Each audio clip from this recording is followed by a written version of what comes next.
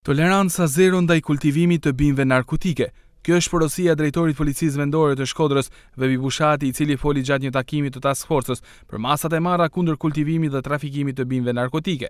Lufta ndaj kultivimit të bimëve narkotike do të ketë tolerancë zero dhe këtë vit. Heqja e Shkodrës nga harta e kultivimit, besoj është për gjithë Shqipërinë, jo vetëm për Shkodrën, pavarësisht se namin e ka patur jo të vogël për hir të disa zonave me risk që ka qarku jonë.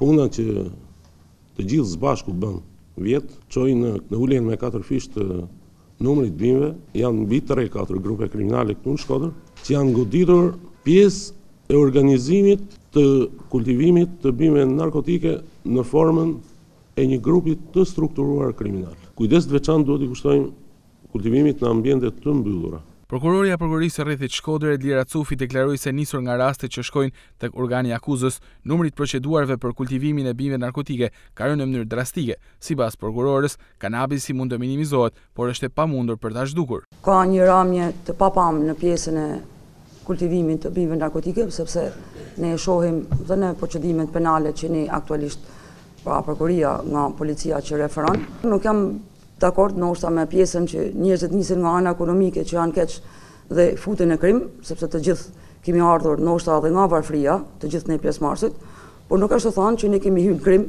dhe bëjmë krime. Nga varfëria s'e lidh atë pjesën.